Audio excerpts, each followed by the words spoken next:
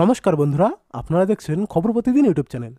বন্ধুরা, বর্তমানে আমাদের পশ্চিমবঙ্গে যে করোনার পরিস্থিতি রয়েছে, তা দেখে কিন্তু অবশেষে নবান্নই আমাদের পশ্চিমবঙ্গে লকডাউন জারি করতে চলেছে।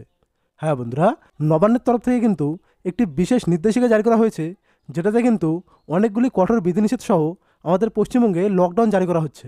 হ্যাঁ বন্ধুরা, কারণ আপনারা জানেন যে আমাদের পশ্চিমবঙ্গে দিন দিন যেভাবে করোনার গতি বেড়েই চলেছে, তাতে লকডাউন ছাড়া আর অন্য কোনো পথ খোলা নেই। কারণ প্রথমে ভাবা হয়েছিল যে টিকাকরণই একমাত্র উপায় হতে পারে এই করোনার থাবাকে আটকাতে।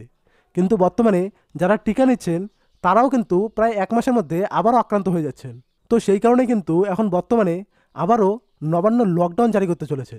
হ্যাঁ বন্ধুরা, তো আসলে এখানে পুরো খবরটি দেখে নেই। এখানে দেখুন বড় বড় করে হেডলাইনে কী বলা রয়েছে?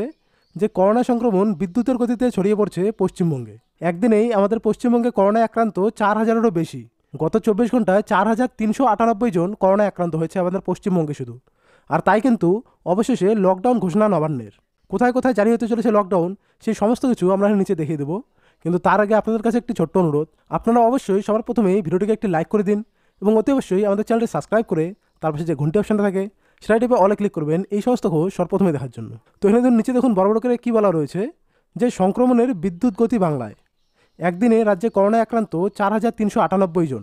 চোখ কপালে তোলার মতো করোনা পরিসংখ্যান রাজ্য স্বাস্থ্য দপ্তরের। করোনা সংক্রমণের সর্বকালীন রেকর্ড বাংলায়।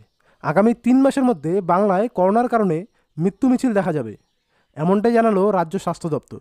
হ্যাঁ বন্ধুরা, যদি এই মুহূর্তে যদি কোনো লকডাউন না করা হয়, তাহলে কিন্তু খুব শীঘ্রই আমরা মৃত্যু মিছিল দেখতে পাবো আমাদের পশ্চিমবঙ্গে করোনার কারণে। এখানে ধরুন বলা হয়েছে যে আজ নবান্নের সাংবাদিক বৈঠকে আলাপন বন্দ্যোপাধ্যায় ও কোভিড বিশেষজ্ঞরা জানান যে ক্রমবর্ধমান করোনা সংক্রমণকে হ্রাস টানতে পশ্চিমবঙ্গে এপ্রিল মাসের শেষের দিকে বা মে মাসের প্রথম দিকে লকডাউন ডাকা হবে। কারণ বর্তমানে লকডাউন ছাড়া আর অন্য কোনো পথ দেখছে না নবান্ন।